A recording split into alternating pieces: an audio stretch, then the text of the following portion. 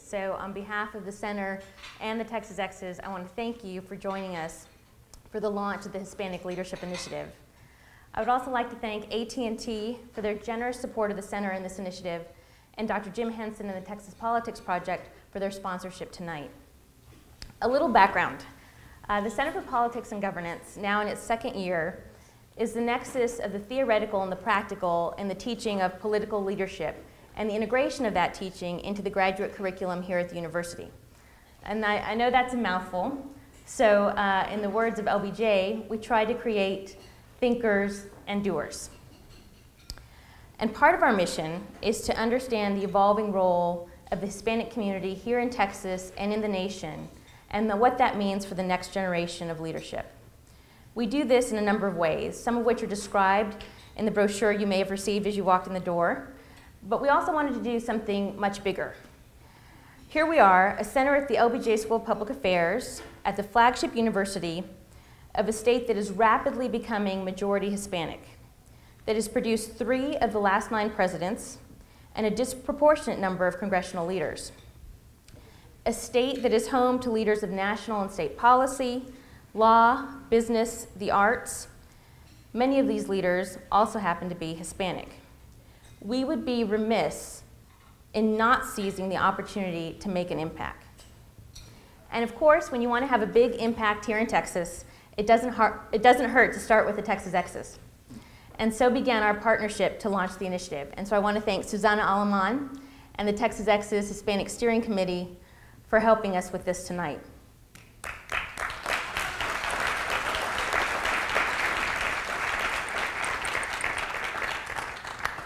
The initiative is a multi-year endeavor to highlight Hispanic leadership and the emerging role of Hispanic Americans in influencing public policy, to recognize outstanding achievements in leadership by Hispanic alumni of the University of Texas, to provide mentoring and networking opportunities for Hispanic alumni and students, to introduce Hispanic undergraduate students to the LBJ School of Public Affairs and their call to public service, and to reconnect Hispanic alumni with the University of Texas on an annual basis.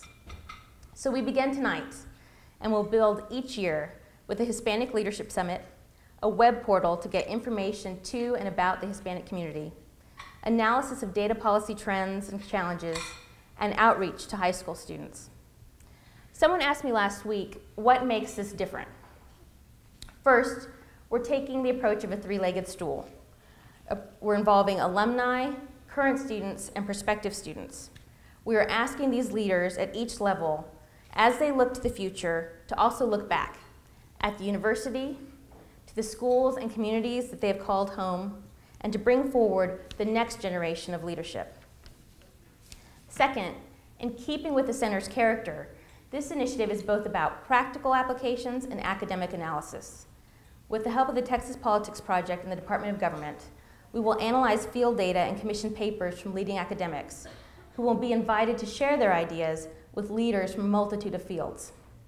And we will look to implement these ideas in the complex array of challenges we seek to address. What we like to say at the center is we go beyond the sound bites, and we intend to do that with Hispanic leadership as well. Finally, and most important, what's different about this initiative is you. All of our good intentions cannot make up for your valuable input and participation. The response to this event has been overwhelming, and I've been very encouraged not only the response to this event and to all of you who came here tonight, but to the multitude of emails and phone calls we received from people around the state and around the nation who said that although they can't be here tonight, they want to be a part of this leadership initiative and want to help in any way they can. This is your initiative, and it depends upon you for its success. So again, thank you in advance for your help. Thank you all for being here. Tonight is just the beginning, and I invite all of you to continue the discussion and the journey with us. And now it is my great pleasure to turn over the podium to someone who's been a mentor for me personally for many years, and who is also the interim dean and the LBJ Centennial Chair in National Policy at the LBJ School of Public Affairs. Please help me welcome Admiral Bob Inman.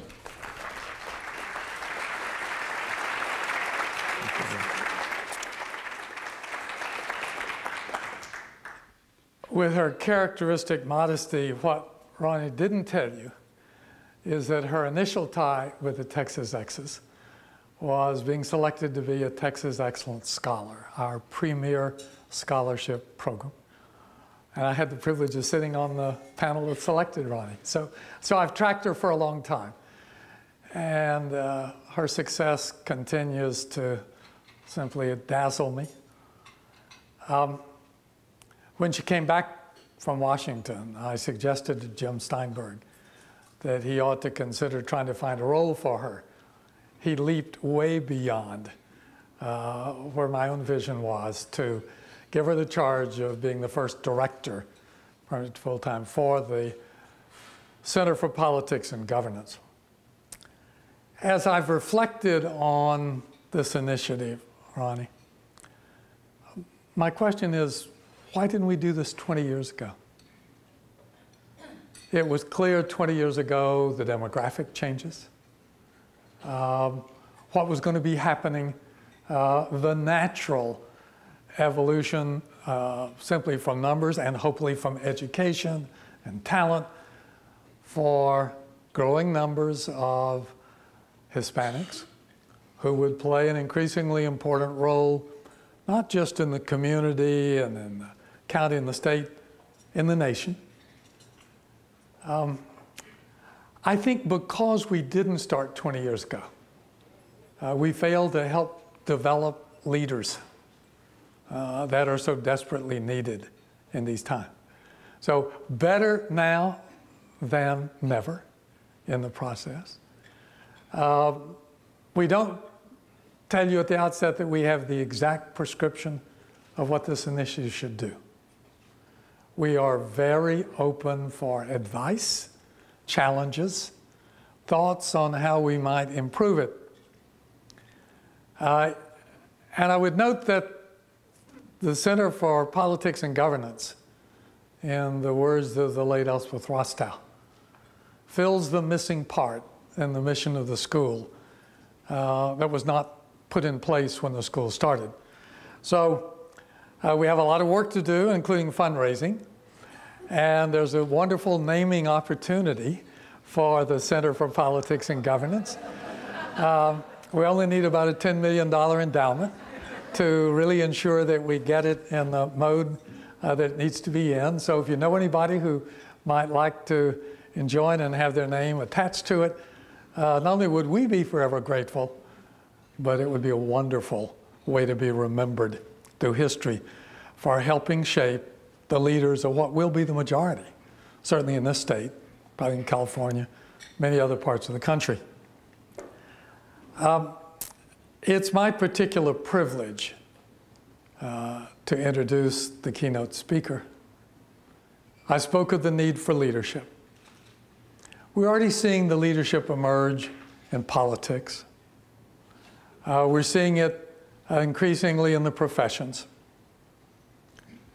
I would argue that the most desperate need was in higher education. Our wonderful wonderful privilege of having Dr. Cigarroa where he is now. Says he didn't need this job.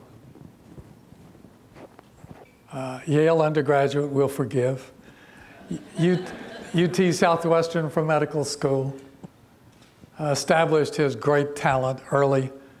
Uh, pediatrician, but then a transplant, the most critical element for having a five month old grandson who recently went through a heart operation, uh, I'm particularly sensitive to how important this talent is. But then he also moved to take up some administrative challenges.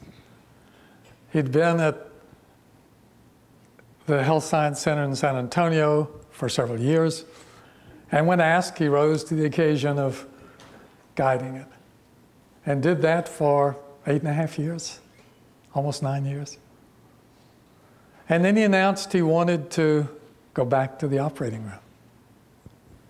But when called, he agreed to take on the leadership of one of the country's largest educational institutions.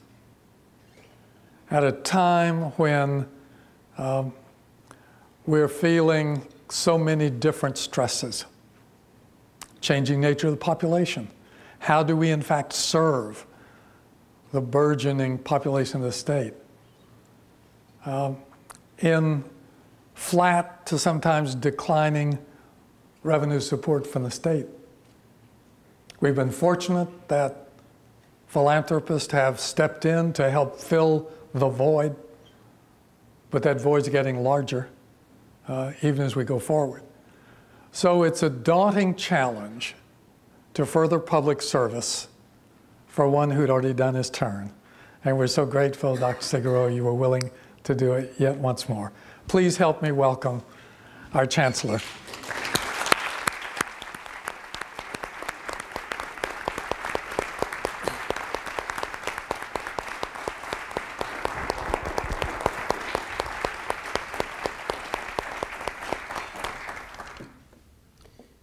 Inman, thank you so much for those kind words. And what a privilege it is to be before the UTXs. Uh, because the University of Texas has given so much to my family, it's given so much to me, and it's given so much to so many others in our great state, our nation, and our world. I'm really honored to be here. The LBJ School is one of the premier public affairs programs in the nation and the Center for Politics and Government has won a justified reputation for excellence. The Hispanic Leadership Initiative, being undertaken by the Center in partnership with the Texas Exes, is a true public service to our state and to this great nation. I'm certain that you're aware the Hispanic population will soon be a majority, not only in the state of Texas, but in our nation. It is appropriate that we should focus our attention not only on highlighting the success of Hispanics, but more importantly, on nurturing the talents and the aspirations of young Hispanics who will soon take their rightful place as leaders at every level of governance and public service. These young people stand on the strong foundation of courageous men and women who worked over generations to advance the cause of equal participation and responsibility. And we now stand at the threshold of the realizations of those dreams. We share the obligation to usher in this new era in a way that makes all of Texas grateful for its arrival. Our greatest obstacle in meeting this challenge is still the incomplete achievement of educational benchmarks in our society. A complete education, an education built at the intersection of knowledge and action, an education that harnesses the great lessons of science, the great lessons of literacy, literature, history, and art, is the greatest gift that we can give our children and it is the bedrock on which great leadership is built. The poet Robert Frost wrote verse through such a rich intersection of disciplines. You can glean this in a lecture Frost delivered on October the 26th of 1937 when he delved into what discipline, if any, was closest to poetry. The great poet found at first glance that it was science. Frost said, Science might be nearer to poetry than most because it is nothing if it is not achievement, if it is not creative. Frost also found akin to poetry and philosophy because this subject fosters flashes of light. He found it in athletics because poetry stirs words into motion. And, in, and in the English department, who are keepers of the text. If these various disciplines had not intersected in his own education, one questions whether his beautiful verses might ever have been written. Can you imagine a world without his lines from the road not taken? Listen to Frost's words. I shall be telling this with a sigh, somewhere ages and ages hence. Two roads diverged in a wood, and I, I took the one less traveled by, and that has made all the difference. Well, what an immeasurable loss it would have been for us if we did not have this verse to turn to today when pondering our life's choices. It is really an unsettling thought that Robert Frost might not have committed them to paper if he had not been blessed with the strong, multidisciplinary education he received. One's education foundation is that important, and unfortunately, today, it is at risk for the present and future generations. The disciplines, art, science, philosophy, literature, mathematics, really required for an integration of brilliance not only in literature but in all fields, are sometimes not a consistent fabric of many American students' academic backgrounds. Our educational system is not where it needs to be, and in fact, is really more strained than ever. Our challenges in education, and particularly in the education of underrepresented minority students, has been called a gathering storm. Indeed, it suggests a wash of ignorance and a lack of preparation, sometimes compared not unlike Hurricane Ike, as it increased in size and its tides rose to unprecedented heights, really before engulfing our Gulf Coast. Well, tomorrow's revered leaders that might have been are in jeopardy while we tinker around the margins of the concerted effort needed to save them. Well, let me provide some evidence, starting with the number of baccalaureate degrees that are being lost, based on a study entitled Mortgaging Our Future. During the 1990s, between nearly 1 million and 1.6 million baccalaureate degrees were lost among college qualified high school graduates from low and moderate income families. And during the current decade, between 1.4 and 2.4 million more baccalaureate degrees will likely be lost. These estimates are extremely conservative. The numbers exclude students who either did not graduate from high school or graduated but are not college qualified. So imagine, as best that you can, the students' faces behind these staggering numbers and statistics mean absolutely nothing if you do not envision and personalize what they mean. Think of the opportunities that have been missed and the numbers of young people gone astray, or visualize the lives that could have changed, the ideas and the innovations that could have been produced, and these individuals, if these individuals graduated from college. Now, listen to these disturbing statistics. In the United States, only 71% of entering ninth graders graduate from high school only 39% enter college, and only 18% graduate within a six-year time frame.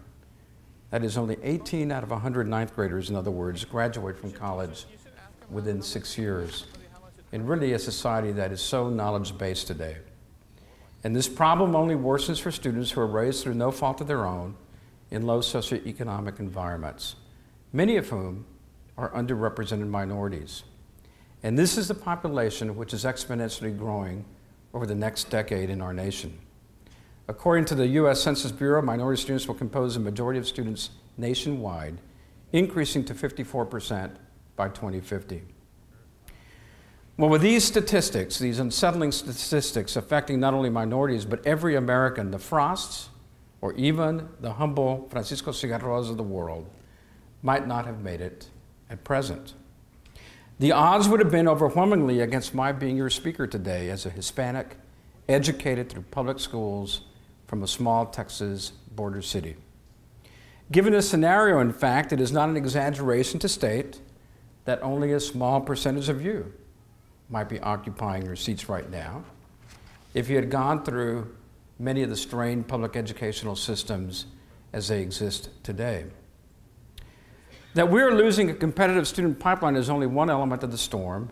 Not only is the strain that I mentioned apparent in the public schools and at the undergraduate level, but it is showing itself in graduate schools in our capacity to research, innovate, and transition our innovations into the commercial marketplace. Some are forgetting the prophetic words of Alan Greenspan, former chairman of the U.S. Federal Reserve. He said, quote, if we are to remain the preem preeminent in transforming knowledge into economic value, the U.S. system of higher education must remain the world leader in generating scientific and technological breakthroughs and in preparing workers to meet the evolving demand of skilled labor. In this instance, Greenspan was wise. He concluded towards the end of his career as chairman if you can solve the education problem, you do not have to do anything else. If you don't solve it, nothing else is going to matter all that much. The voices expressing concern over the weakening of our global competitiveness through the decline of our educational systems are many, but unfortunately the response has been slow. The data, again, are compelling. American 12th graders scored near the bottom on the recent third international math and science study. U.S. students placed 19th out of 21 developed nations in math and 16 out of 21 in science. And interestingly, our fourth grade students performed as well in mathematics and science as do their peers in other nations. However, in a recent assessment, 12th graders were almost last among students who participated in the trends in international mathematics and science study. So it becomes apparent that our students are facing adverse educational circumstances in our middle and our high schools.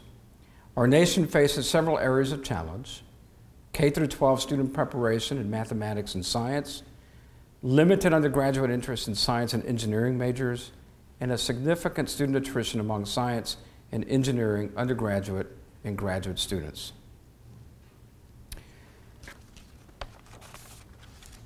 This scenario, of course, we can do something about it. That is the spirit of Texas. It's the spirit of the University of Texas system at large. Now, by sharing the blueprint of my career, I would like to basically give you some unique insights into what we are finding is working to ensure that we prevent this hardship in the educational opportunities for our younger generation. First of all, I'm proud that I went through the public school systems in Laredo, Texas, which when I was growing up was a small, dusty city ranked among the poorest cities in the United States with among one of the poorest public school systems in the United States. But I can tell you that in that environment, I can still recall every teacher from first grade through high school. This was at a time long before the state required standardized tests to measure achievement, requiring rote preparation.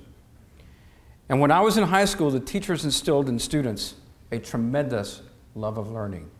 Again, the power, the mentorship of outstanding teachers in our society. They were not teaching to a test, they were teaching to instill a love of learning that would motivate us for a lifetime. Secondly, growing along the Texas Mexico border in Laredo as the son of a physician, my father being Dr. Joaquin Cigarroa, also provided me with a tremendous experience in understanding the challenges faced by a medically underserved region, resulting in significant healthcare disparities, many of which are now looming public health issues not only for Texas, but for the entire nation. Now, just as growing up in Laredo gave me a roadmap of what works on the border in terms of education and the delivery of healthcare, pediatric surgery, transplantation surgery was the ideal background for leading an academic health center because it did expose me to one of the most demanding surgical fellowships in the world under the mentorship of outstanding clinical scientists. My surgical training provided a very strong foundation that I continually rely on administrative leadership. I learned that a surgeon needs to lead, to be decisive, and to inspire a team of professionals to do their very best. And furthermore, a leader in surgery must hold himself or herself along with members of the team, accountable when an unexpected patient outcome is not achieved.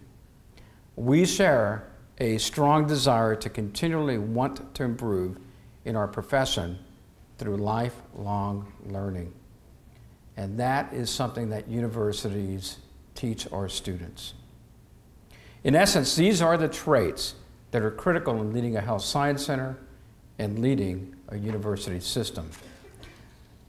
So, in summation, every step of my collective educational life experiences provided me with the, the attributes necessary to lead a university system with academic and health institutions and to acquire the trust of faculty, students, and staff in carrying out the mission, the most important mission of the University of Texas system. It was not an intentional design, it was simply how my life unfolded and brought me to this place that I stand before you. None of us can transfer the benefits and the experiences that came from our families to young people coming along now, but we certainly can make educational opportunities and resultant experiences equal to our own available to the next generation. I may add, that is probably the most important responsibility that we have. And that is what we are working very hard to do at the University of Texas System. We understand that our success in fulfilling our core missions of education, research, healthcare, and service is not dependent exclusively on how well we prepare our students after they come to us. Excellence in education is now, at minimum, measured on our work in a paradigm of making K through 16 education seamless. We are truly part of a complex, interdependent educational system that begins its responsibility to students long before they ever set foot on our universities. And we take that responsibility profoundly seriously. The UT system is taking a leadership role in improving K through 16 initiatives, and we will accept nothing than excellence, nothing less than leadership on all fronts. We have instituted or established the Institute for Public School Initiatives, which exists with one priority only to help teachers improve their skills and instill in their students that love of learning that was so important to me. One of the proudest accomplishments on any of our campuses is the creation of the UTeach program, originated by Dean Mary Ann Rankin of the College of Natural Sciences here at UT Austin. Through this program, outstanding students are encouraged to enter teaching as a career and then trained to be a kind of science teachers that inspire and interest all other students. And this wonderful program has spread to other departments and colleges and is now regarded as a national model for teacher preparation. Again, what an important responsibility our universities have to basically prepare the finest teachers that we can possibly graduate to teach our Texas children. Our community college initiative is built on the understanding that all levels of post secondary education must work together if we are to achieve the important goals of the coordinating boards closing the gaps. It is designed to encourage and ease the transition from community colleges to our four year universities and to assure college success. We're also working diligently to improve our academic support services and outreach programs to improve student representation and success. And we are redoubling our efforts to increase the availability of scholarships to ensure that no qualified student is, designed, is denied an education as a result of socioeconomic reasons. I, of course, am particularly proud of the development and constant improvements of health professional education in South Texas. This is one of my first, my, one of my most important priorities as president of the UT Health Science in San Antonio. And it pays multiple dividends by helping students enter a profession and improve the availability of health care in chronically underserved regions. And since 2003, the Joint Admissions Medical Program, or JAMP, has been helping Texas students achieve their dreams with guaranteed admission to one of the state's eight medical schools and financial and academic support to help them get there and ensure that they excel. I am really proud of the University of Texas system in taking bold initiatives to overcome the challenges uh, that we face in our educational systems in America. It is our responsibility to lead on these fronts. These are programs that help students who might have been lost to find their way and to expose them to the kind of experiences that most of us have had experiences that open doors to the future. Without these experiences, I would not have had the choices so beautifully described by Robert Frost as two diverging roads, which for me came as a decision whether to practice medicine exclusively as a pediatric and transplant surgeon or to lead an academic health science center as its president and then the University of Texas system as its chancellor. As Admiral Inman stated in October, I faced two diverging roads again in my life. But the responsibility of becoming chancellor uh, was a higher calling for public service. And I fundamentally believe that education saves lives. The fact that I had a choice to begin with between pursuing two paths that led in radically different ways to practicing the beautiful art of medicine has really made all the difference in my life. I really learned so much about myself, about leadership, about making a difference not only in individual lives, but in the future of Texas, in the future of our nation and world. As Sandra Day O'Connor, former US, US Supreme Court Justice, who was just recently here this past week, so beautifully expressed, in order to cultivate a set of leaders with legitimacy in the eyes of the citizenry, it is necessary that the path to leadership be visibly open to talented and qualified individuals of every race and ethnicity. All members of our heterogeneous society must have confidence in the openness and in the integrity of the educational institutions that provide this training.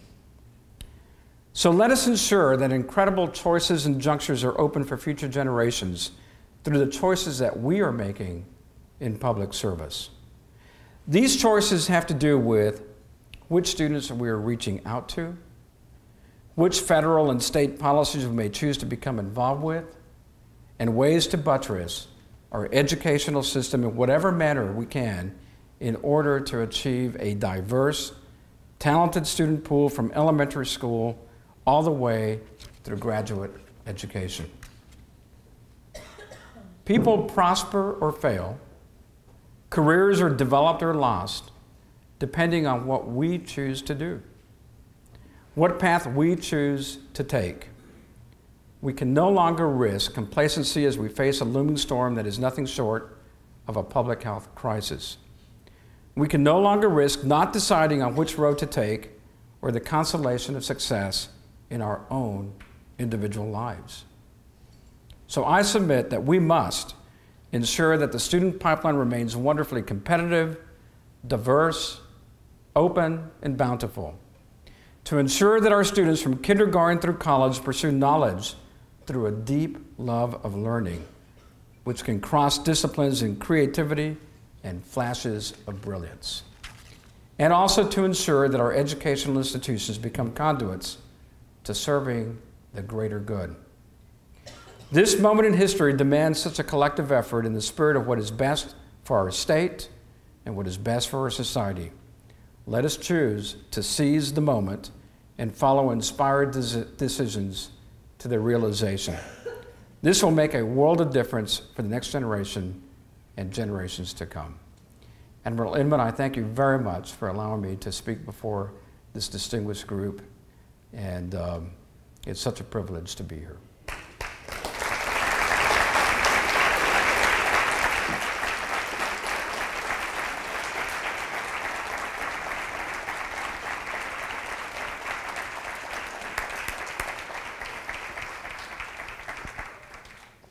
I'm going to complete my role in this by inviting the other members of the panel to come up and join the conversation. Again, Dr. thank you so much for keynoting getting us off to a great start. Oh, how are you? You've been out to my brother. It's all yours. Thank you, Admiral. Miss you, miss you.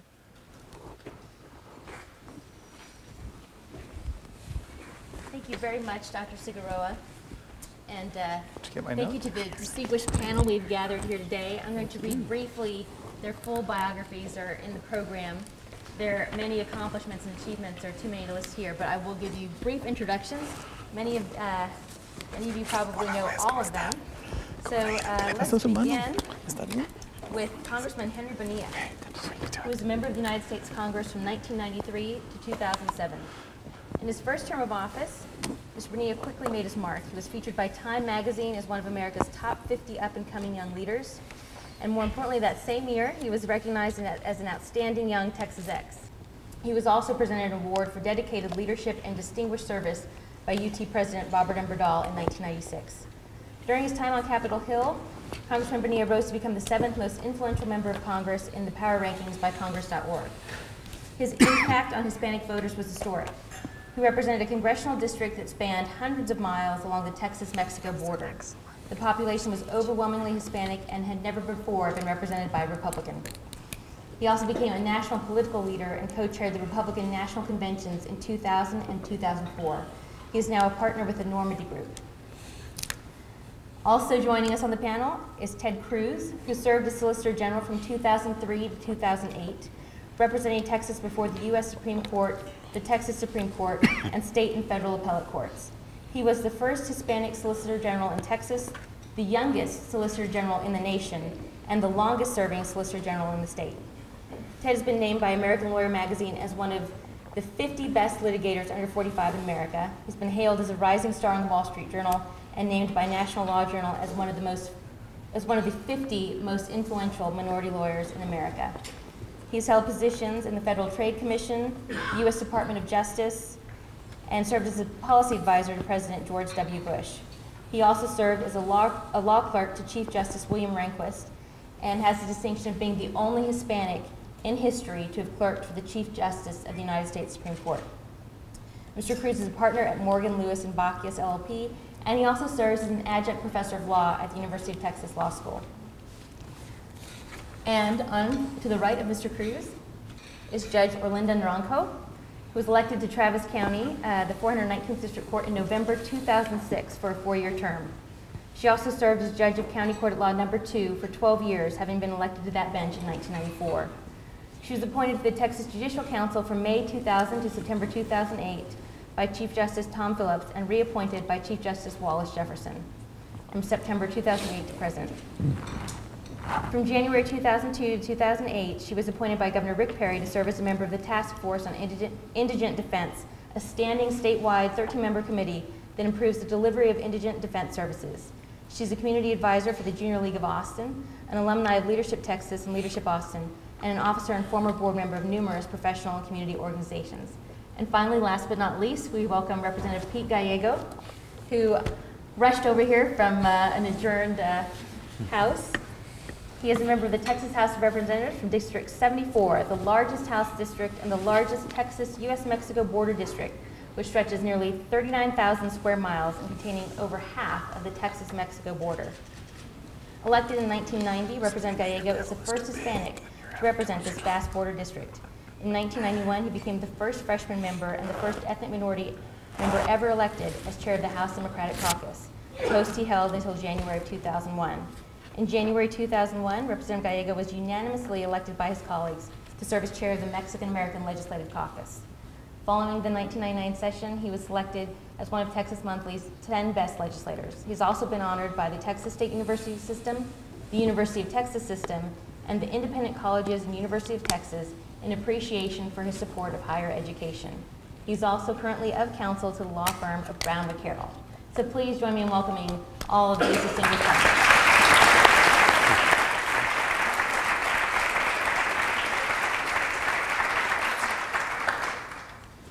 Let's go ahead and just jump right into the discussion. And so Congressman Benny, I'm going to begin with you.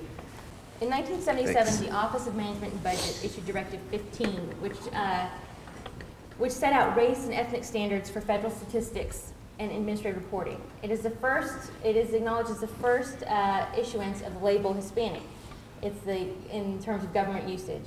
It defined Hispanic as a person of Mexican, Puerto Rican, Cuban, Central or South American, or other Spanish cultural origin, regardless of race. So in some ways, it's a relatively recent term, and in other ways, it's, a, it's an outdated and old term. So my question to you and to the rest of the panel is, what does it mean to be Hispanic in the 21st century United States? Well, it is not as clearly defined as it was maybe a generation ago because there has been so many uh, intermixing and families. In some cases, even a couple of generations have gone by where perhaps a, an Anglo or an African American may have married into a Hispanic family that may have been from Mexico or Central or South America, but then someone else in the family may, have uh, uh, hooked up with someone else from the Cuban American community. And so uh, yeah, some of the stories that you hear now about the incredible diversity within the Hispanic culture is something that we hadn't seen uh, emerge before in our in our demographics in this country. So it is not it's not an easy answer. But I think the government, as as, are most entities, is doing the best job it can to try to keep track of everyone to see how we all fit together. And if I can elaborate just a minute, the uh, I compare the uh, potential Hispanic impact on this country to the impact that the high tech boom had on America back in the mid 90s. In a good way, in a positive way, it changed our country and to a great degree changed the world. And that is what the Hispanic culture is, is now having. We're living through this historic trend right now in what kind of impact the Hispanic culture is having, not just on our country, but on, on, on cultures across the world. But again, in breaking down the uh, Hispanic culture, the, the, the largest population, by far over half, comes from the, the geographic area of Mexico, Central America, South, and South America, and on down. Uh, versus the Puerto Rican community versus the Cuban American community. But again, at some point, they're all going to meet at the same place and, and, create a new America. And that's why I say, in a positive way, it does compare to what we saw in the high tech industry in the 90s. And when we look back on this era, we are all going to say we lived through it. And uh, so we should all embrace it. And it gets complicated. And, and one more point uh, as I finish this comment. Uh, we all embrace, should embrace and study and be part of how all of the other factors affect this emerging uh, demographic factor in our country. Free trade with Panama, with Cuba, with Central America, those potential pacts that are out there now you know, the drug cartels that are impacting immigration sometimes, uh, in some cases, uh, comprehensive immigration reform, new trade with Cuba that's emerging now. The doors are opening to that community, and it's somewhat controversial. But all of these things are, are, are what we, as part of the University of Texas, should embrace and, and be part of. It's an exciting time. And I just appreciate, again, that you all gave me an opportunity to be here with you tonight. Ted. Thank you, Congressman, and thank you very much for having us here and for putting to this event together. This is a, a fantastic event, and I congratulate you and the Center on this terrific launch. Uh, I very much agree with, with Congressman Bonilla's observations. I think that, that while there are certainly differences uh, in terms of national origin of where various people come from, uh, I think the terms Hispanic or Latino still convey a great deal of content because I think there is far more that unites the Hispanic community than there is that separates it. Uh, I think if you look across cultures in the Hispanic community, you see number one, uh, a, a, deep love of family, strong families. I mean, uh, you know, I mean, how many of us uh, had an abuela that had a chancleta that she could throw and hit you across the room with? Uh, you know, that's something that, that, that, all of us can relate to because it's, it's who we are, it's part of who, who we grew up. Um, faith, I think, is an incredibly important factor in, in the Hispanic and Latino community uh, in terms of all of us raised of the importance of faith and family and the two working together. I think patriotism is something I think as Hispanics we are deeply patriotic and, and love this country and, and I think that is very much part of who we are. And, and I think the aspect that most ties together Hispanics is that we are all a product of immigrants, whether it is ourselves or our parents or our great great grandparents. Somebody was crazy enough to leave everything, to leave safety and security of their home and to come here in pursuit of freedom.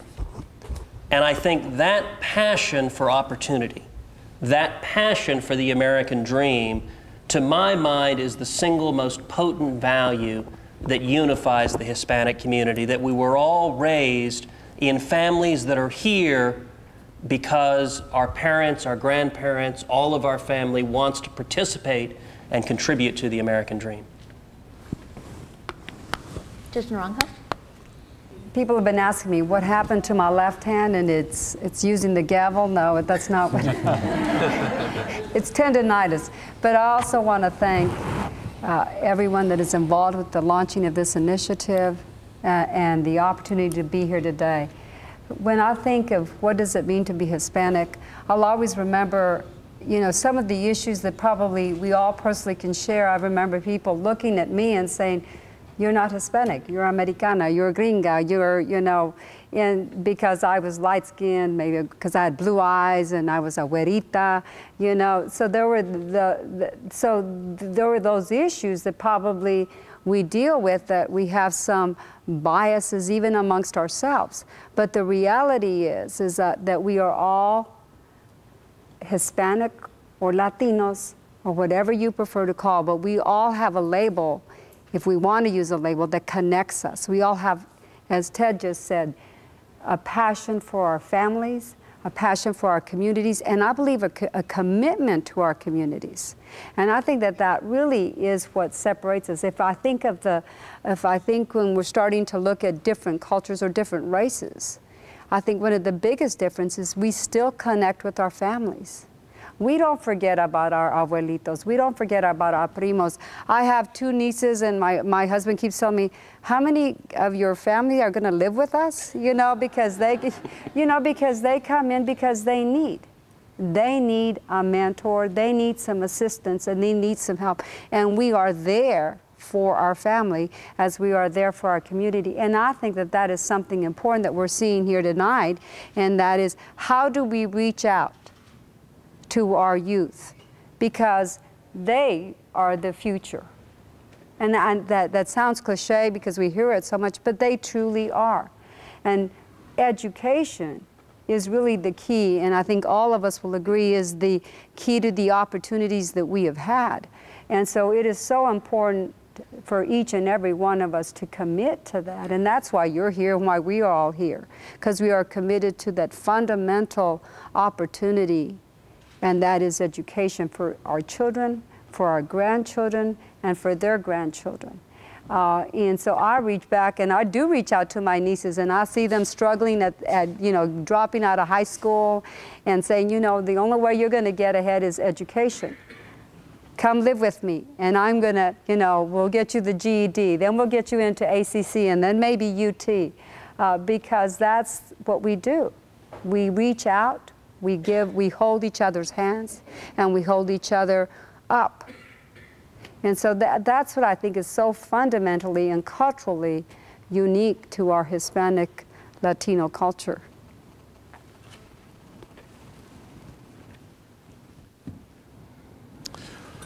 Well, I'm going to take a little bit of a different tack because I, uh, I will tell you that from my view, um, Hispanics have always been a mix. It's always been whether it was Spanish and uh, uh, Aztec or Mayan or Incan.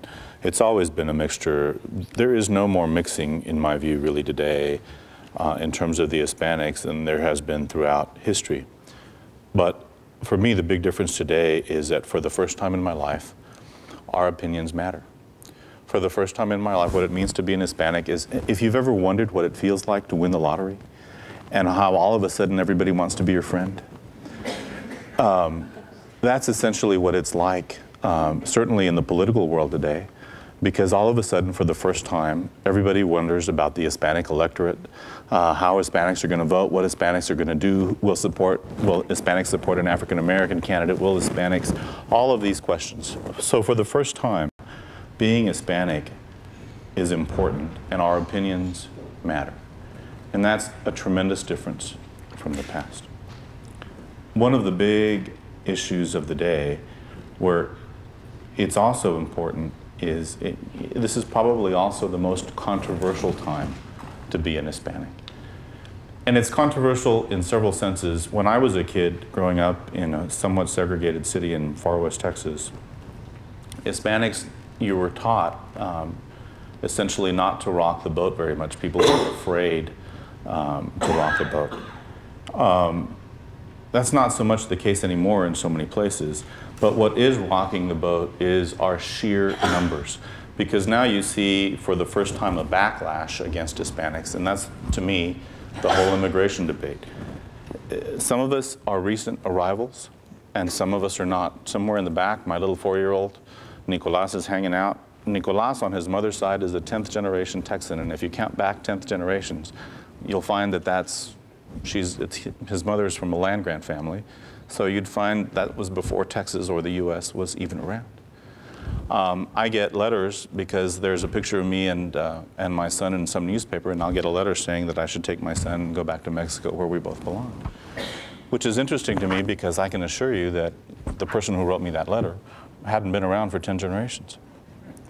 Um, so It is a, a controversial time uh, to be an Hispanic, but it is a fundamentally challenging and wonderful time uh, to be an Hispanic because as we use this term uh, come of age, as we come to a part, uh, a point in history where our decisions are mainstream and are going to matter and are going to shape the future of our country, it's all the more exciting for those of you who are younger uh, than I am who have an opportunity, I think, to, to start and build and fix and make better for a much longer time than those of us who are at the table who have been in public service for some time.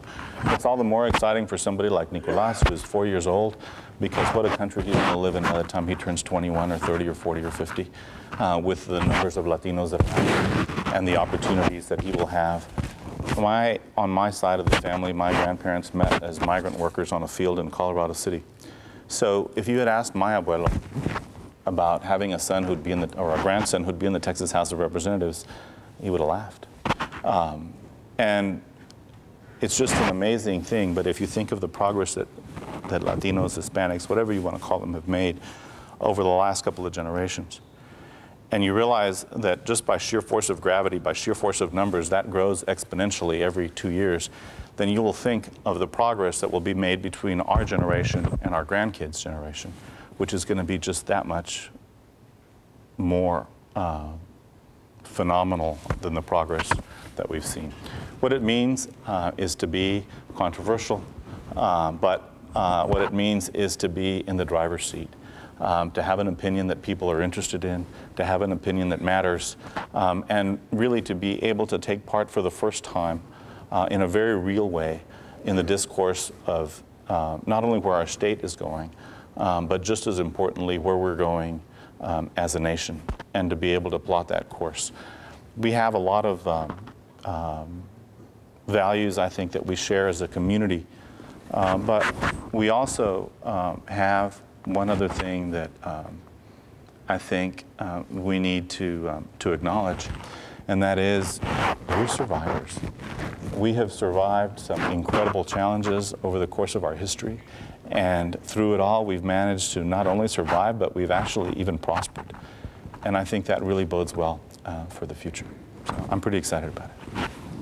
Um, I want to get to some of those political issues but first I want to pick up statement about the analogy between uh, the growth of the Hispanic population and the tech boom. And so, Chancellor, I was wondering if you can think of lessons learned from the tech boom for us to avoid the bust. If, if the analogy holds true, um, what are the things that we should be cautious about, or what are the challenges we're going to face?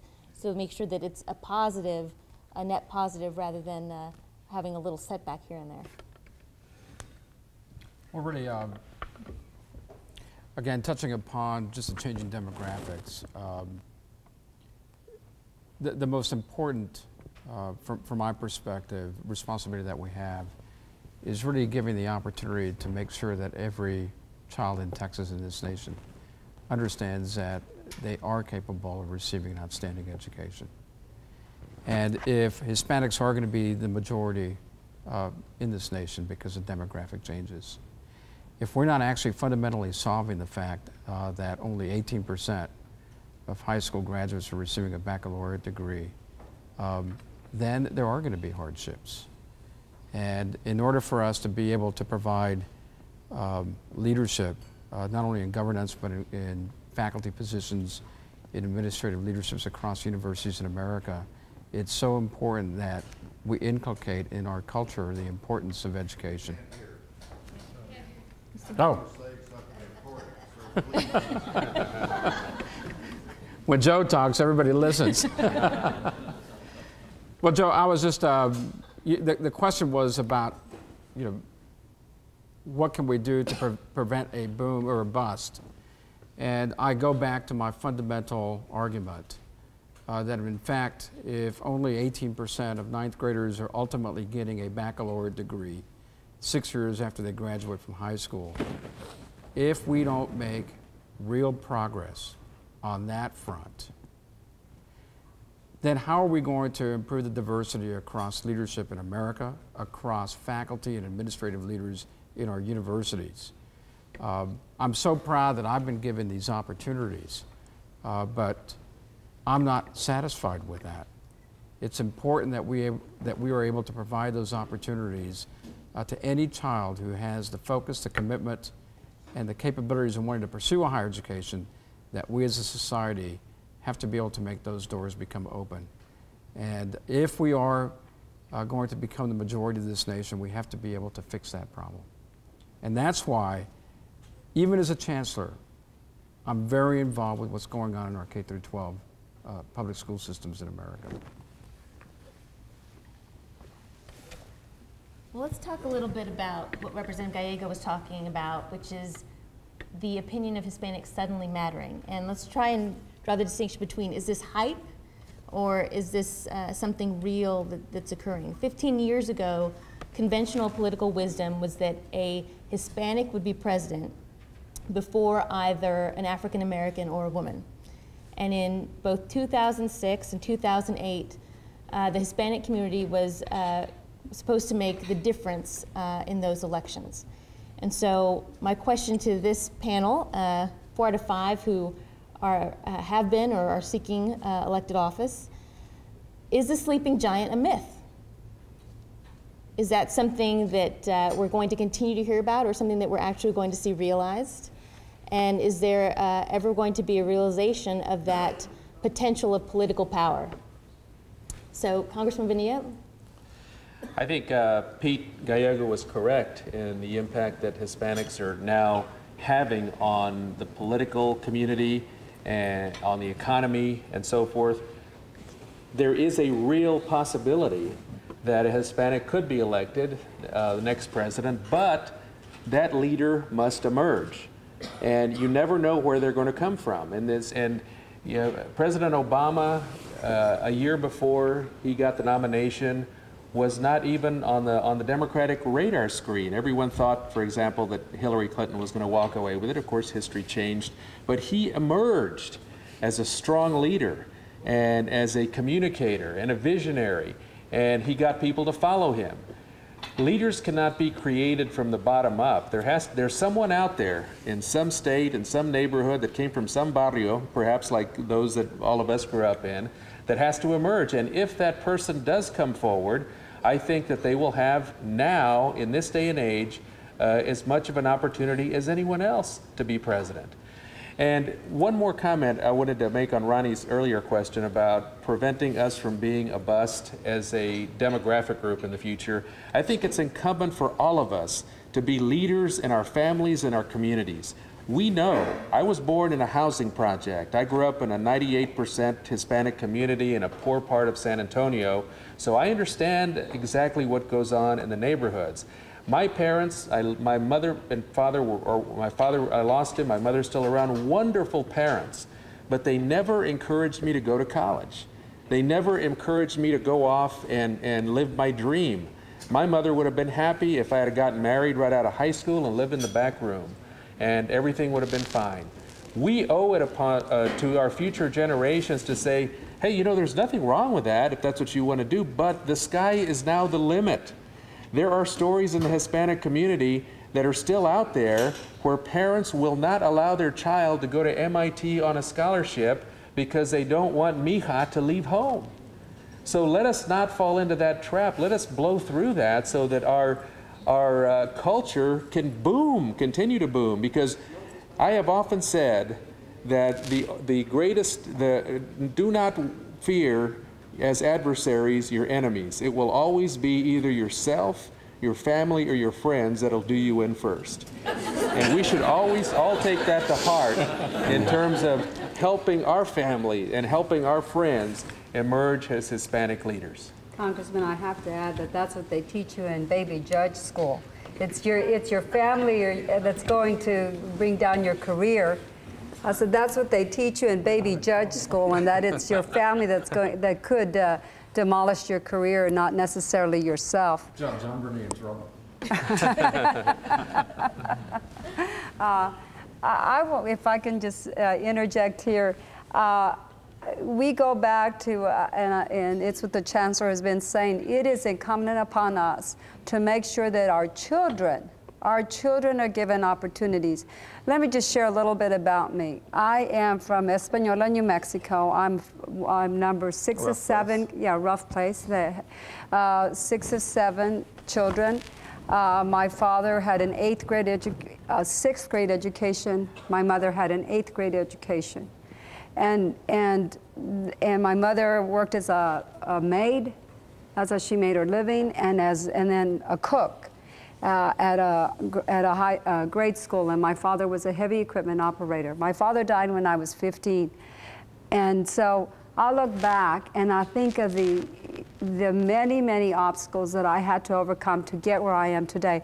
I also am a, was a teen parent. So that's another issue. And so I look back at the issues that, and those issues and challenges are still there for our, for our, our culture. We look at the Hispanic population. We are, we have the notoriety of being the first in the, in the country that our teen parents have had a second child as teenagers. We have that notoriety.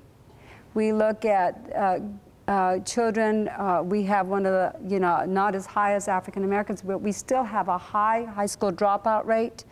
Uh, we still have a very high rate of our, of our prison population, our minorities, Hispanics.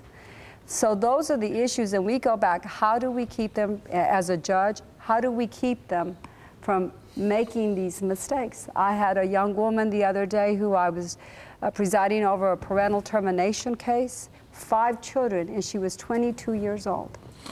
Five children, but she really believed that the fifth child that she had with this 17 year old boy, this 17 year old boy was going to step up to the plate and take care of the five children. He was gone after she was three or four months pregnant.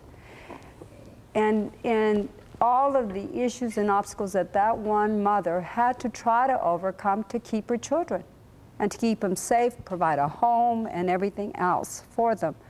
Those are the issues that we as a society deal with, but when we look at what is the fundamental problem, if, if we can help these kids stay in school, realize the importance, and I, I talk, and you're absolutely right. We, each and every one of us, have to make a commitment that we as leaders can, can go in and provide mentorship, can go in and provide that this is what you can overcome if you have a focus and a dream of education. And education, again, is the key to the opportunities that you will have. I tell them, without education, I couldn't be where I am today. I would, you know, when we talk about, eh, the, there's many issues that we can talk about, but when we talk about how do we, how do we address some of these issues, it has to start at kindergarten and grade school and, hi- and middle school, where we keep the kids focused on the importance of education, the importance that, that they can become somebody, that they can become a judge, a representative, a chancellor, a congressman, U.S. congressman, that they can do it. And they can, they can think about it, they can dream about it if they look up and they can see that there are examples in their community, that there are leaders that look like them, maybe have had the same experiences. I try when I go in and talk to people, I don't talk about how, what sets me apart from them. I try to talk to them about how, what we have in common. Because they look at me and they don't think, do I look like a judge when I walk into the court, into the room? They say, well, no, not really. I, what, well, what does a judge look like? Well, I was kind of thinking like of a, maybe a really old white man is usually what they tell me. That's usually what they tell me. And so it's, uh, so, you know, I don't look like what they expect. But if I put my robe on and I sit on the, on the bench, then okay, you look like a judge now. You know, so I- I'm just saying that a lot of times if we share what we have in common with these, with these kids, what we have, you know, that maybe they also lost a parent, that maybe they were raised by, uh, by a single parent, and you show them the commonalities, then you also can show them that even with those commonalities, you can be successful. But the key is education, and we have to start at a very early age. So Ted, is the greatest, are the greatest obstacles posed from within the community or from without? Well, I think both. I mean, I think at, at an outset, I'll, I'll, point out that all of us, we, we, have some good news and some bad news. Uh, we've learned from Representative Gallego that all of us have won the lottery. uh, so that's nice. But, but, Congressman Bonilla told us when we get home, our friend and family is going to steal the lottery ticket. so we've, we've got they uh, will. sunshine and trouble. Um, you know, I think the question of the role of the Hispanic community in politics is, is one that is, is very much still being written. Um, I, I, think there is no doubt that right now both parties are actively focusing on the Hispanic community. Now, I also think both political parties are pretty lousy at actually connecting and speaking to Hispanics. Um, so they're talking about it, they're trying, they're kind of, you know, pawing around not very effectively. Um, but I do think right now both political parties realize that our demographic growth is becoming impossible to ignore. Uh, one of the things that I think is incredibly, uh, if you look at this last election, I mean, you asked uh, about the sleeping giant, is it still sleeping? One of the most marked differences in this last election is how the Hispanic community voted. In 2004, George W. Bush got between 40 and 44 percent of the Hispanic vote nationwide. In 2008, John McCain barely got 31 percent. That's a third of the vote. Hispanics and young people are the two most dramatic shifts in this last election cycle of a voting group that changed party allegiance in this last election cycle. Uh, now, one thing that I think is very, very healthy for our community is that right now, at least, Hispanics are not lumped automatically into either party. Uh, and I think that is probably a very healthy thing. I remember when I was in law school, uh, we were creating the uh, Harvard Latino Law Review. It was, there was several of us who were first years in law school, and we created a journal that still exists. And we were creating a, uh, uh an advisory board. And so we said, okay, well, we want to have Mexican Americans, we want to have Puerto Ricans, we want to have Cubans, we want to have Central Americans, we want to have Republicans, we want to have Democrats. So we had this little chart of like eight boxes. And this fairly cynical friend of mine looked at it, reached over, he crossed out Cuban Democrats and Puerto Rican Republicans and said, okay, we can do the rest of this. I, you know, one of the things, and that's a bit of an oversimplification, but one of the things that I think is quite healthy for our community is that both parties are fighting over the Hispanic vote. Um, I don't think it is healthy for a community to be taken for granted by either party, and I think we are going to see in the years coming ahead each party trying to make the case that the policies they're advancing are going to make the biggest difference in our community, and I think that uh, is an overwhelmingly good thing. Representative Gallego, how do the parties then connect with the Hispanic community, and what are the lessons that we can learn from that as a, as a university to connect to the Hispanic community? Well, you know, I, I will tell you that Hispanics, I think, are already there uh, with respect to the issue of being aware. Um, you know, if, if we're talking about uh, decision making as an example, the Florida primary went to the Republican Party chose McCain, and they chose McCain because he won Florida, and he won Florida because of the Cubans. Um, so Hispanics are already there in terms of decision. How you connect with them, I think every candidate, it, it, it really uh, depends. I mean, I, I, will tell you that the way not to connect with them is to threaten to put us all on a bus and send us home, um, and, and do that regardless of whether uh, uh, you know, for me, some of the uh, some of the bills that I see in the legislature uh, are pretty offensive. I mean, if you uh, see a car accident and the folks that you um, help get out of the car are non-citizens, then you're supposed to leave them on the side of the road, and you know they don't get any ambulance and they don't get whatever. I mean, those things are. I mean, to me, the first thing that you have to do, I think, is acknowledge um, that everybody does whatever they do for their kids. The re- I, I will tell you, I, I, came to this recently. I mean, I've already admitted that I have one kid and he's four. And, and I, I have come to the conclusion, in all honesty, um, that I would do whatever I had to do to make sure that kid eats. If it means walk across the desert to find a better job, if it means, I mean, I, for the first time, I understand the sacrifices that my parents made. Every time I asked my parents for money, now I understand the sacrifices that my parents made. And the political parties have to understand that our families and our children and their future are just as important as anyone else's. That we're parents too, that we dream too, that we want a, much better future for our kids, just the way that every parent um, wants a better future for their kids. So, this whole idea for me of separating us and showing us how we're different and how we're different from the rest of the country, I think is the wrong way to connect. The right way for both parties to connect is to talk about those things that, as Ted said, that we have in common with the rest of the country, which are, in a very real sense, our value system.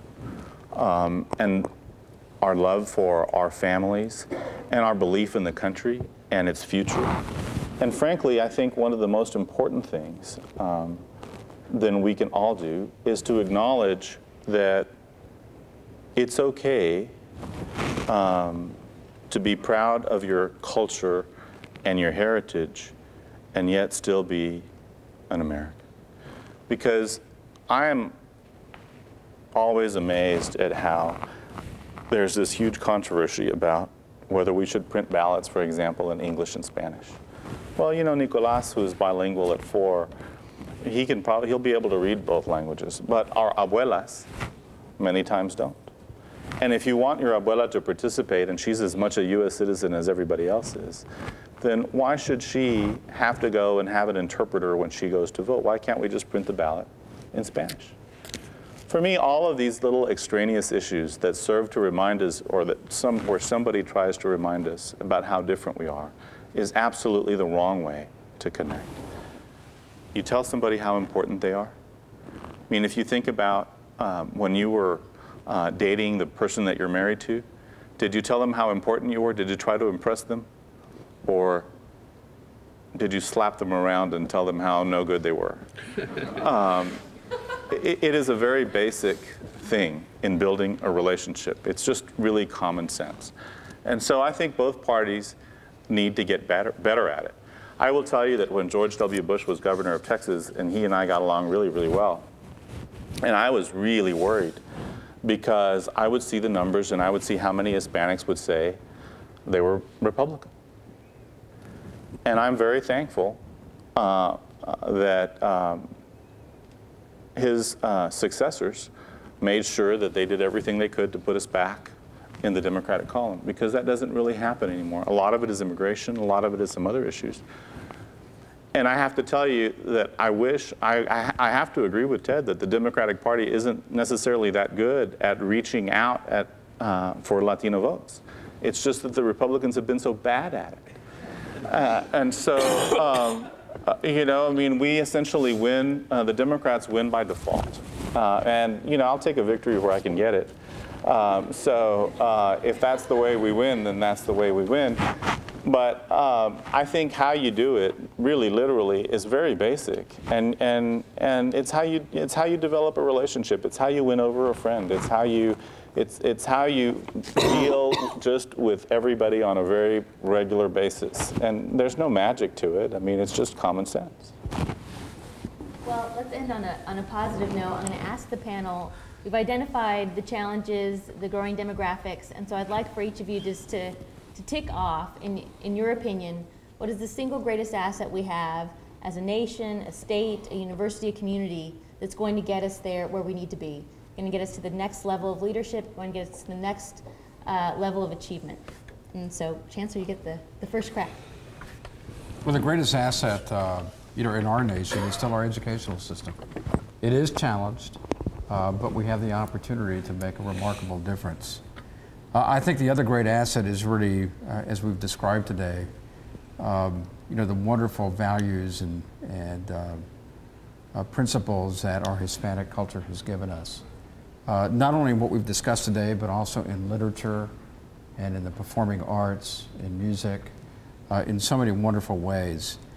Uh, my, my one phrase of encouragement would be, or advice, uh, which is know, really what I've faced, is not to be intimidated by that road less traveled by. Uh, because if we are first generation uh, college graduates, um, there are going to be decision trees uh, in the future where, in fact, you know, failure might happen. And in many ways, uh, if you're going to enter into uh, positions such as a congressman or presidency of a health science center as chancellor, you can't fear that job. Uh, you really have to be able to state that you've got confidence, that you've been well educated, um, but don't be intimidated um, that you're the first uh, to be able to do something. Um, one does have to have a certain degree of courage uh, to be able to take these leadership roles in America and around the world. Uh, but if you were always scared that you might fail, you're never going to be able to take advantage of the opportunities uh, that are so bountiful still in this nation and in the world. I believe the greatest thing about our country that uh, Hispanics will embrace more in future generations is our nation's resilience.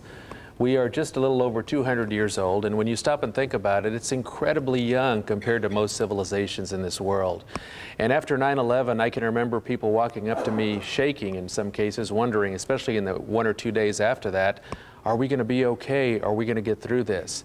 And I would remind them that this country has been through many challenges uh, over its lifetime, whether it was the Civil War that ripped this country apart, whether it was the Depression that started in 1929 that threatened families to their core, whether it was World War II that, that the, uh, uh, the enemies came close, close to really expanding their influence. And, but America came through with, the, with this incredible uh, the incredible resources that we had in our people and our allies to preserve what we have today.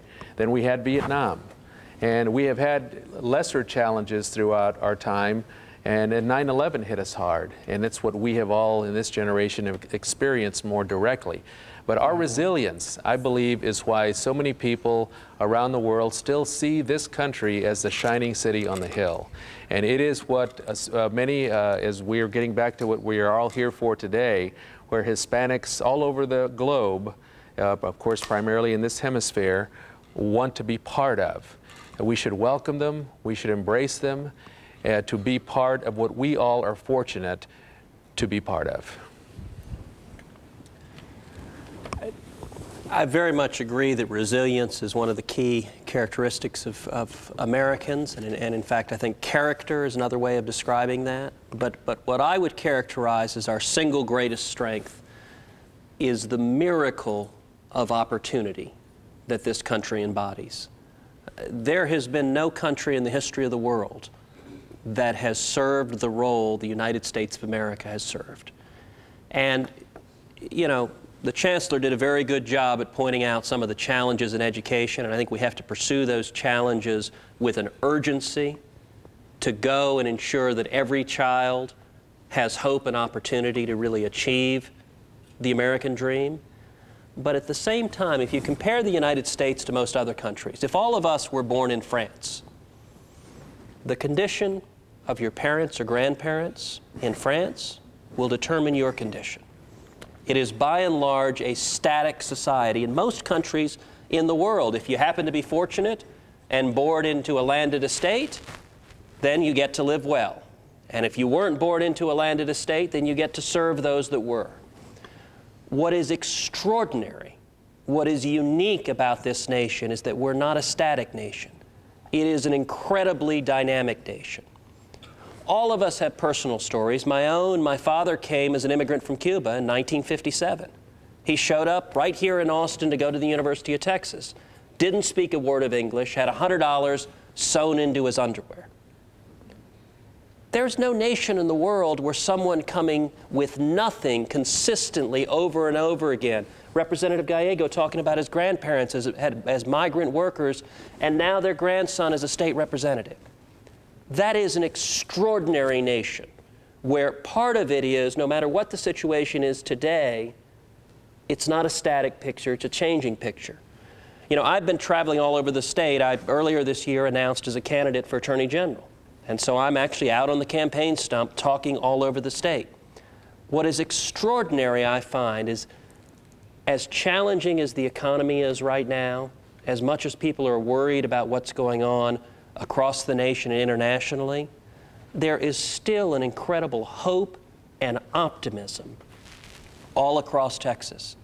In the Hispanic community and among Texans generally, a real belief that the resiliency, that the character of this country will overcome. Uh, and I think that, that ultimately is our greatest strength. Boy, it's, it's hard to follow that because I also think that this country is a country that each and every one of us can look in the mirror and say, this is a picture of the American dream. Each and every one of us, our children, our great grandchildren, are, can look in the mirror and know that there is nothing that they can't overcome, there is nothing that they cannot accomplish. And it is because of love, and it is because of support, and it is because of their family and others. It could be a teacher, it could be a mentor, a Boy Scout leader, a, a, a tío, a tía, somebody that is there for that child that can help them be, make and become that American dream. I always say, I am that poster child for the American dream. Um, but one thing I want to, I wanted to, I have to ask this question before I pass the mic, and that is, you know, that President Obama will have an opportunity to make an appointment to the Supreme Court to re replace the retiring Justice uh, Souter. And I, would like to show by a raise of hand if you agree that it's important for President Obama to replace Justice Souter with a Hispanic. So then I'd ask, why is that important to this nation?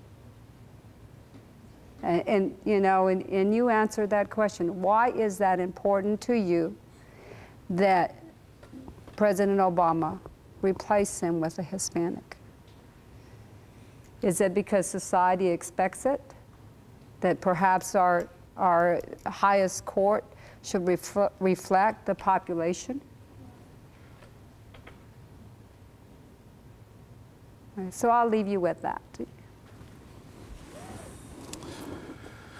Well, I, um, you know, will add one other facet to the conversation, and, and that is, um, you know, the thing that I'm most excited about is uh, is our potential.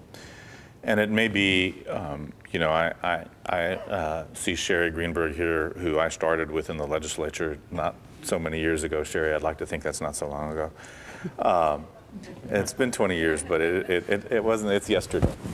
I, uh, and I have to tell you that um, one of the things that I'm the most excited about is the potential and the, and the, the talent. Because I get to see, for example, I get to work with a lot of kids, uh, and I call them kids, uh, young adults maybe, who are in you know, school here at the University of Texas, uh, and I see some really, really big dreamers and some folks that really, really have a lot of potential. And for me, that's important because one of the challenges uh, for the folks that are, um, you know, I, have never forgotten Paul Moreno, who served in the legislature for a long time, probably 30 or 40 years. Paul and I, Paul was, was so far to the left of me that he and I usually couldn't agree on lunch. But um, but the truth is that it was people like Paul Moreno who broke the doors down so that people like Pete Gallego could serve. And that was such an important lesson for me because you really had to, uh, and, and, in those days there were so few role models, there were so few people who helped break the doors down and help bring other people. And now you see um, people uh, like um, Dr. Cigarroa, who is an incredible role model for uh, folks across the state, Latinos, non-Latinos, everybody. You see uh, folks like um, Henry Bonilla, I mean, truthfully, how many kids grow up in San Antonio uh, in a housing project and ever have aspirations of going to the U.S. Congress? Every lawyer's dream, every lawyer's dream, whether they admit it or not, in the back of their mind, is to argue before the U.S. Supreme Court. And Ted Cruz I mean, you, you think, I mean, for young folks out there, they have an opportunity to see, and for women, because truthfully, the Latino population um, includes what 51, 52% females. And like Orlinda Naranjo, what a role model because in terms of being able to jump any hurdle, any obstacle that life throws, it's Orlinda Naranjo. The truth is that we have more role models who are in place now than we've ever had before in our history as Latinos. And we have more, maybe it's just by sheer virtue of numbers, who knows? I've never thought about it that way. But we have more raw talent and more potential out there than we've ever had before. And so there's more promise than we've ever had before. We're going to be bigger contributors to the American dream than we've ever been. And it is said that a rising tide raises all boats. So when Latinos do well, it's not just Latinos that we're talking about, it's everybody. If Latinos prosper, and we've got some challenges. No, no, Chancellor Cigarroa raised those issues very, very well, and those are not issues that we need to be looking to government programs to fix. Those are issues that we got to fix ourselves as a community. Those challenges, assuming that we can overcome those, just think of the potential and the talent, and think of how cool tomorrow and the day after tomorrow and next year and the year after next will be think of those. I mean, for me, frankly, the only reason that I do all of this and the only thing that I keep thinking about is that little four year old because I want him to have a much better life than I did. But I also know that statistically, right now, he's going to be part, or actually, I'm going to be part of the first generation of Texans that doesn't leave Texas better off than our fathers and mothers left it to us unless we make some fundamental decisions, some fundamental changes in where Texas is going, then our future doesn't look so bright. So it takes all of us working together. It takes all of us pushing, empujando, de poco a poco, to make sure that we get Texas where we want it to be. And I'm not talking about Latinos and non-Latinos. I'm not even talking about Democrats and Republicans. I'm talking about Texans and Americans. Because fundamentally, it's a conversation that we all have to have together about the future of our country and where we wanted to go and what we wanted to do. And at the end of the day, I know that everybody, black, brown, yellow, green, purple, we all love our kids and we all want tomorrow to be better for them. So those are the things that we need to focus on and those are the things that we need to work towards and we need to make sure that we work with every community of color and not of color to make sure those dreams are accomplished. Please join me in thanking tonight's panel.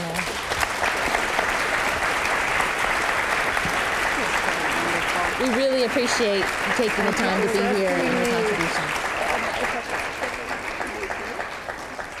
It's such a pleasure to be able to assemble such an outstanding group of leaders and role models. And so tonight, I'd like to turn it over to another leader, Susana Aleman, the chair of the Hispanic Alumni Steering Committee. Thank you, Ronnie.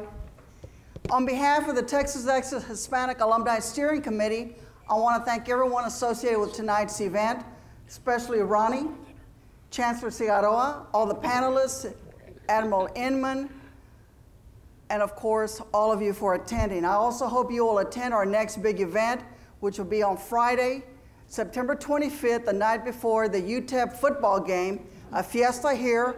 We'll play Loteria, among other things. The Longhorn Band will be here, et cetera, et cetera.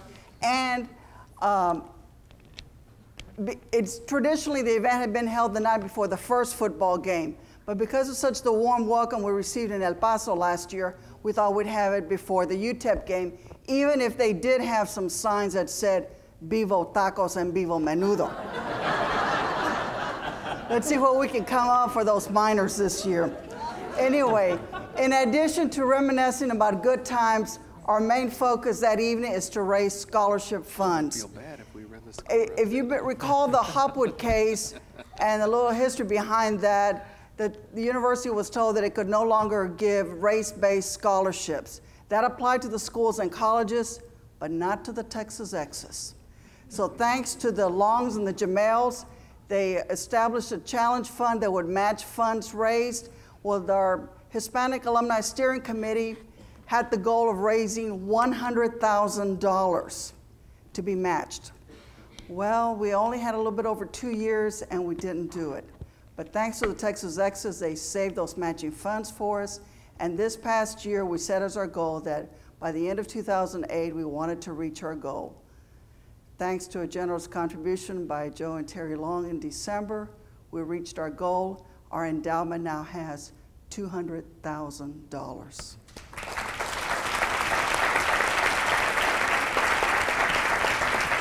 And that, the interest from that will go to scholarships for deserving Hispanic students. As you heard, education is the key. We do want to open the doors for every capable Hispanic student to come to UT. But we still need more money. Expenses are going up. So please open your hearts, your checkbooks. If you need any help writing out the check, please see me. I'm real good at writing zeros. But thanks again for attending tonight. Please feel free to stay a little bit longer, socialize a little bit more, and drive home carefully. Thank you very much. Thank you so much. We really appreciate it.